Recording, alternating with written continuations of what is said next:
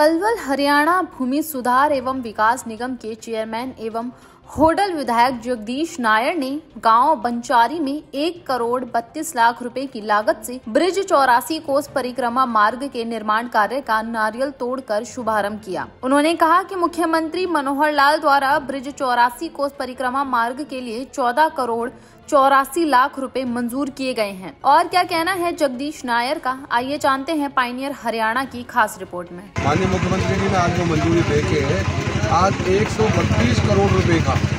जो हमारा केवल पंचारी से और डकोरा तक के लिए काम जाए। एक करोड़ बत्तीस लाख रुपए। का ये तो ये टुकड़ा हुआ लेकिन टोटल चौरासी कोष की परिक्रमा के लिए चौदह करोड़ चौरासी लाख रुपए की राशि देकर टोटल चौरासी कोष की परिक्रमा बनेगी। फिर चौरासी कोष की सड़क को सही बनाएँगे, उसकी भ्रम सही बनाएँगे, उसके साथ बैटरी की कुर्सियाँ देंगे और लाइट का प्रबंध करेंगे। ये योजना हमारी बनाई है, जहाँ यात्री भवन नहीं है, वहाँ यात्री भवन बनाई है।